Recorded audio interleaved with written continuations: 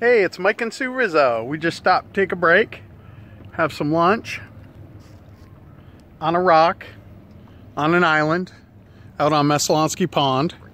We're not actually on the island, we're just on a rock. That way we're not trespassing over anybody's God-forsaken beautiful land. We got the boat tied up and we're just taking a break. Beautiful. It is beautiful. I'll give you a show.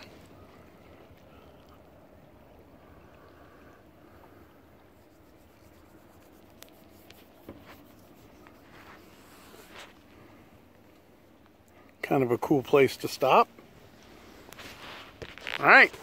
We'll see you later.